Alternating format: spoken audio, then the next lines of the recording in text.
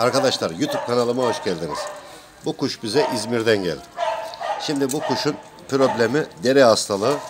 Sürekli deriyi yiyor, kanlatıyor ama hiçbir şekilde iyileşmiyor. Buna tedavi yaptılar. İzmir Bornova'dan geldi.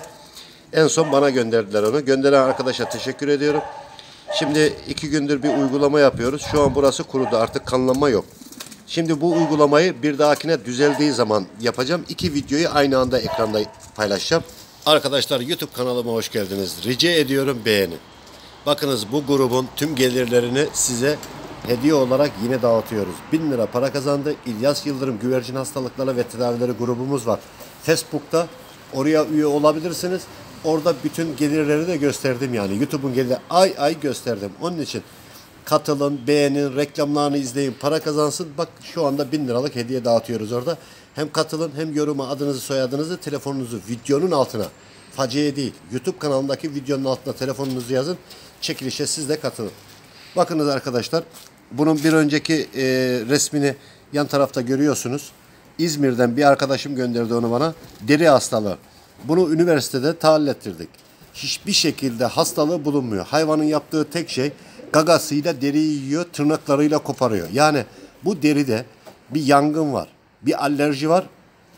Kesinlikle bu şeyde de laboratuvarda da çıkmıyor. Ama hayvan burayı canlı et dışarı çıkmasına rağmen resimde görüyorsunuz burasını yiyor. Bu vaziyette.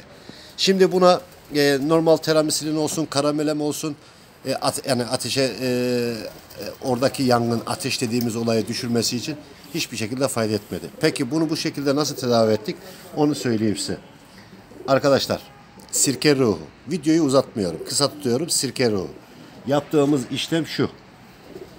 Sirke ruhuna aktarlarda satılıyor arkadaşlar. Aktarlarda. Yaptığımız tek şey şu. Burayı yakıyor. Yani dokuyu öldürüyor. Şu anda ölmüş doku. Yani onun için hayvan şu anda orada bir kabuk koptu. Onun e, acısı vurdu hayvana. O şekilde yapıyor. Dokuyu öldürdüğün zaman bu hayvanda e, en azından orayı yemeği bırakıyor. Arkadaşlar sirke ruhunu çiçekte kullanabilirsiniz. Diş çiçek tehlikelidir. Diş çiçeğin kafasını kesin sirke ruhuyla üstüne sürün olduğu yerde kurutur.